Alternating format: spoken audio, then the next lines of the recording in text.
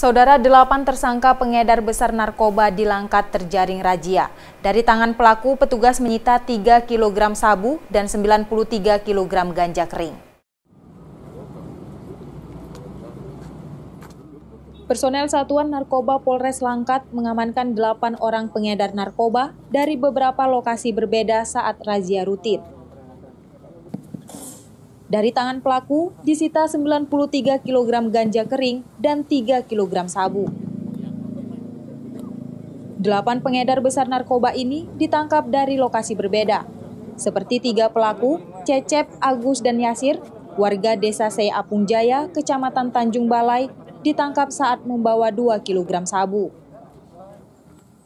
Kemudian di Kecamatan Gebang, Kabupaten Langkat, petugas kembali menangkap tersangka saat membawa sabu dengan mengendarai mobil Avanza warna hitam dan menangkap Zainal warga Aceh Tamiang dengan barang bukti 1 kg sabu di Jalin Sub.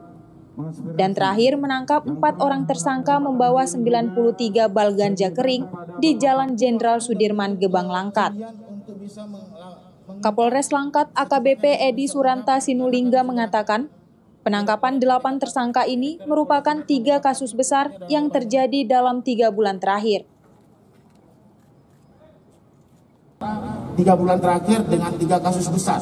Pertama pengungkapan narkoba yang satu kilogram itu hasil uh, uh, surveillance kita, undercover tim khusus, kemudian ada pengungkapan ketika kita melakukan razia di uh, dua di dua tempat di uh, Gebang.